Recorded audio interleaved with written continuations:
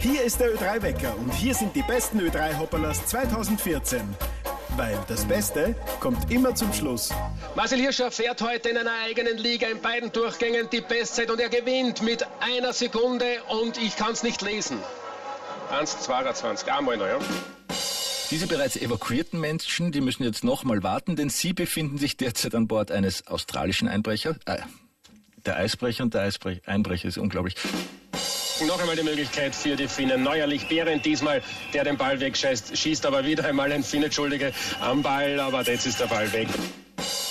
Der Verkehr wird händisch geregnet, regelt, regnen Sie mit, rechnen Sie mit Staub. Eine halbe Musik, äh, nochmal zurück, eine halbe Stunde Musik ohne Unterbrechung wartet auf Sie. Geben Sie mir 30 Sekunden und ich leg los. Alles ruhig? Das heißt, wir starten gleich los mit der besten Musik. Treffpunkt Ö3. Der Abend Ö3-DJ Silvia Graf. und die beste Musik. Alles nächste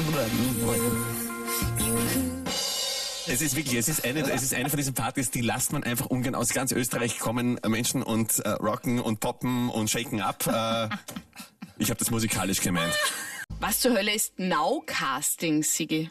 Naja, da muss ich ein bisschen weiter ausgreifen. Die Wettercomputer. Die, die, die, jetzt sei mal ruhig. Nein, die bitte. Also in Zusammenhang mit einem Casting von Ausgreifen zu sprechen, aber äh, mach mal fertig, ich bin sehr die gespannt. Wettercomputer, die tun sich im Moment sehr schwer. Äh, ab und zu wird hier das Sonnenschein einmal abgeschwächt.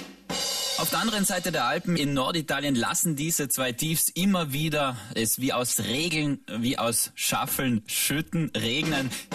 Der Sigi hat gerade gesagt, ich habe die, ich hab die Ziege ganz falsch nachgemacht, weil ich habe gemacht, Mäh!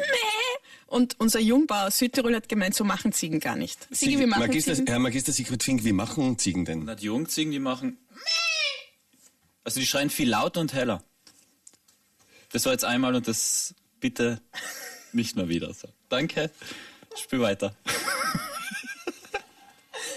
Können Sie bitte meine Mutter anrufen, sie soll mich abholen?